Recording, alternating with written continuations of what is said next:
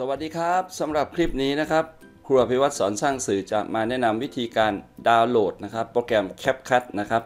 ปกติแล้ว CapCut เราจะรู้จักในนามแอปพลิเคชัน ติดตั้งในในสมาร์ทโฟนนะครับ ในคลิปนี้นะครับจะมาแนะนำการติดตั้ง CapCut ใน PC หรือว่าใน Windows ของเรานะครับ โปรแกรม CapCut เป็นโปรแกรมสำหรับตัดต่อวิดีโอที่ง่าย ๆ เลยนะครับ มีวิธีการดาวน์โหลดอย่างไรบ้างนะครับ เดี๋ยวเรามาเริ่มกันเลยนะครับ อันดับแรกนะครับ มาที่ Google แล้วพิมพ์คำว่า capcut.com นะครับ c a p c u t.com นะครับ มันก็จะเข้ามาที่หน้านี้นะครับ จากนั้นเราจะเห็นปุ่มนี้นะครับ download for Windows นะครับ อยู่ข้างล่างนี้ คลิกหนึ่งครั้งที่ download for Windows ครับ แล้วมันก็จะเปิดขึ้นมาแบบนี้นะครับ ว่าจะ save ไว้ที่ไหนนะครับ จากนั้นเราก็กด save เลยครับ เมื่อเราทำการกด save นะครับ ไฟล์เล็กๆเองนะครับ 333 meg นะครับ เมื่อทำการดาวน์โหลดแล้วเราก็ติดตั้งได้เลยครับ โดยการคลิกที่ไฟล์ที่เราดาวน์โหลดนะครับเพื่อจะทำการติดตั้งครับผมจะคลิกติดตั้งเลยนะครับ พอทำการคลิกติดตั้งนะครับ เราก็กด run เลยครับ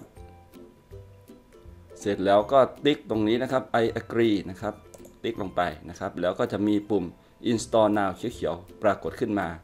แล้วเราก็คลิกที่ install ได้เลยครับ จากนั้นนะครับก็รอสักครู่นะครับ เนี่ยมันก็จะขึ้นมาแบบนี้นะครับกำลัง installing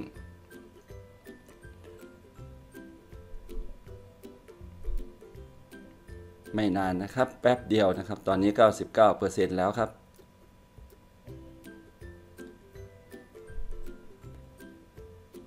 ต่อไปเราก็จะมีโปรแกรมตัดต่อวิดีโอง่าย ๆ นะครับใน PC นะครับ โดยที่นะครับ เราไม่จำเป็นต้องนะครับ ไปตัดต่อในมือถืออีกต่อไปนะครับ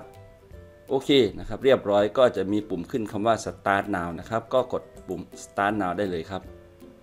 เดี๋ยวมาดูว่าเปิดหน้าจอมาครั้งแรกของโปรแกรมนี้หน้าตาเป็นอย่างไรครับอ่าเปิดขึ้นมาแล้วนะครับ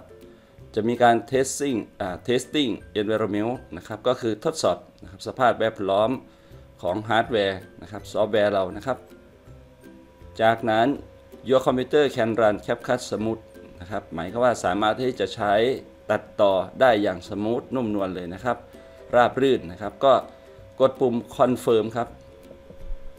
ยืนยันเลยนะครับ เรียบร้อยนะครับ พอเปิดขึ้นมาครั้งแรกนะครับ ก็จะมีแค่นี้นะครับ start creating นะครับ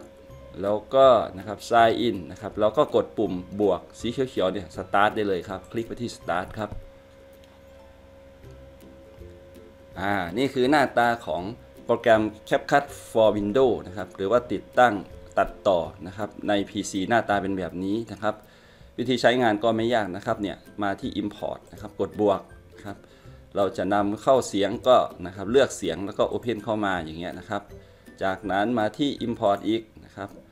ถ้ามันอยู่ด้วยกันเอามาพร้อมกันก็ได้นะครับ ถ้ามันแยกกันอยู่เราก็ไปหาทีละอย่างนะครับอย่างเช่นนะครับ Picture นะครับ ไปนำภาพนิ่งนะครับที่เราจะใช้ในการตัดต่อนะครับนำเข้ามาได้นะครับ ไปนำวิดีโอหรือคลิปที่เราต้องการตัดต่อก็ Import เข้ามานะครับ ก็ไปนำเข้ามาได้ครับ ถ้าเรามีวิดีโอก็ไปนำวิดีโอเข้ามาอย่างนี้นะครับอย่างนี้นะครับ ตอนตัดต่อก็แค่นะครับลากนะครับ drag มาที่ไทม์ไลน์ตัวนี้แค่นั้นเองนะครับ ก็ลากลงมาแบบนี้นะครับ หรือจะกดปุ่มสีเขียวก็ได้นะครับ เวลาเราเราเอาเมาส์ชี้จะมีเครื่องหมายบวกนะครับ แล้วก็นะครับลอง play นะครับ ปุ่มนี้ก็คือปุ่ม play ครับเนี่ยนะครับ play มาถึงตำแหน่งที่เรานะครับต้องการมันก็จะโชว์ขึ้นมาแบบนี้นะครับเนี่ยครับ ถ้าตรงไหนนะครับไม่มีข้อมูลมันก็จะมืดนะครับ ถ้าเราต้องการจะตัดนะครับ เราเอา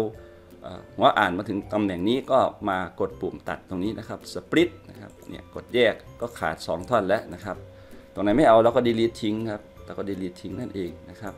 ตรงนี้มาก็สวัสดีครับนักเรียนทุกคนพบกันอีกเช่นเคยนะคอ่ารับแบบนี้เลยนะครับ แล้วก็ export ไปนะครับ